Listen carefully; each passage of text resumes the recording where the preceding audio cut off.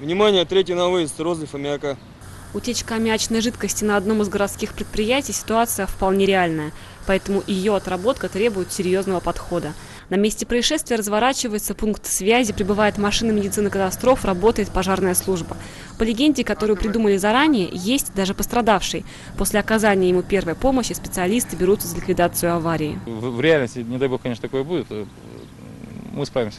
За работой сотрудников МЧС наблюдает начальство и представители правительства.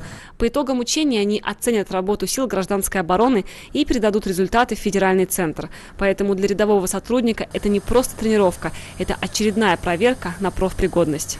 недостатков, которые бы требовали моего вмешательства для прекращения данных учений нету.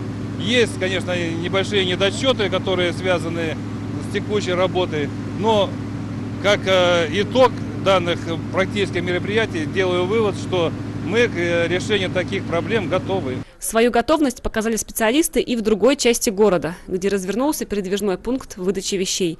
Резиновые сапоги, лопаты, керосиновые лампы и постельное белье. В этих палатках все, что может понадобиться сотрудникам МЧС для организации работы с местным населением. Это халат. ХБ, они темные, темного цвета. Тоже одеваются при выдаче ну, в различных условиях. Э, Это фартуки при работе с зараженными вещами, возможно, да, но тоже одеваются, э, резиновые перчатки, ну, вот, работают, если, допустим, э, одежда подверглась заражению, да. Масштабные учения разворачиваются в России уже второй год подряд, и приурочены они к Дню гражданской обороны.